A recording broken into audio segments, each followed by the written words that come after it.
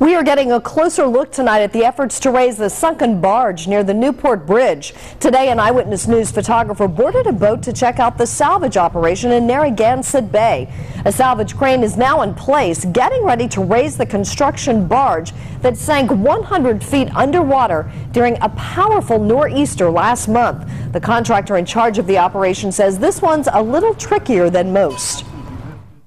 Now, what makes this one complicated is that it's upside down and anytime a barge is upside down, um, you need to right it before you can bring it up. So that's the uh, the most difficult part of this. Generally, it, it takes about two weeks. Um, it's very important that everything gets rigged properly so that when you actually do the lift, it doesn't break free or you don't do more damage to the actual um, barge itself.